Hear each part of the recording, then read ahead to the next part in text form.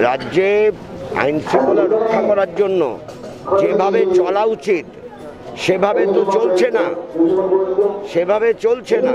অর্থাৎ সবটাই তৃণমূলের দ্বারা পরিচালিত হবে। যা কিছু এই আকাশের নিচে, পশ্চিমবঙ্গে যা কিছু হবে, সব তৃণমূলের দ্বারা পরিচালিত হবে। গণতান্ত্রিক ব্যবস্থায় তা হয় না। গণতন্ত্র ধ্বংস করার লক্ষ্যেই পথ চলছে। তাই এরকম বিরোধ হচ্ছে। বিরোধ তার থেকে জন্ম নিচ্ছে। আপনাকে সুদীপ্ত সেন জেল থেকে একটা চিঠি প্রকাশ করেছেন।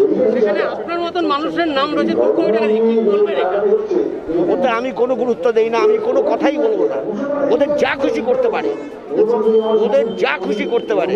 ওরা সুদীপ্ত লেখা না তৃণমূলের ব্যবস্থাপনায় লেখা সেটা সিবিআই বার করুক আমার দরকার নেই। আমার আমার আমার বয়ে গেল আমার বয়ে গেল। আমি আইনের পথে যাব কেন? আমি যাব কেন?